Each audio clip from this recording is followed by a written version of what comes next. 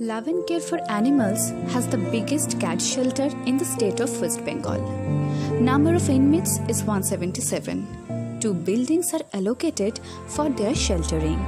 And as the cats need art for their free movement, the shelter has that facility also.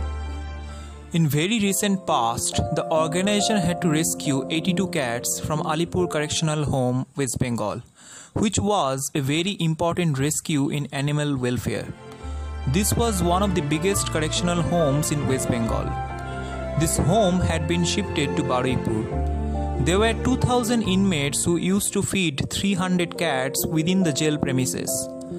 After the inmates were shifted, the cats were compelled to stop as they did not know the outside world.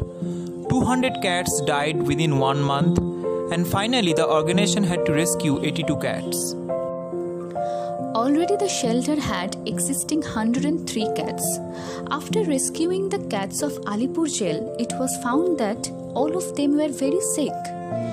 The shelter couldn't save 8 of them, but 74 were saved and Love and Care for Animals has now 177 cats at their shelter. As this is a very big cat shelter, frequently the organization faces different types of cross infection. So for these cats, medicine is needed.